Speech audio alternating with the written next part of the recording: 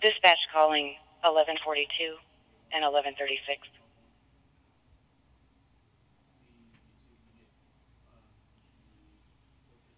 Dispatch calling 1142 and 1136. Deputy King and Deputy Rohrer.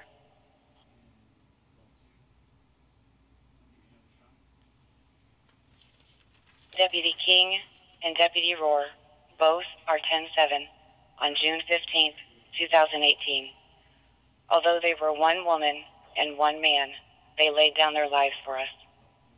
We thank you both for your dedication, loyalty, and service to the citizens of Wyandotte County and Kansas City, Kansas.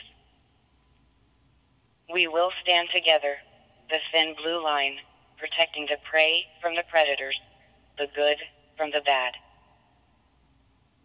The wicked flee when no one pursues, but the righteous are bold as a lion. Proverbs 28 1. Blessed are the peacemakers, for they shall be called the children of God.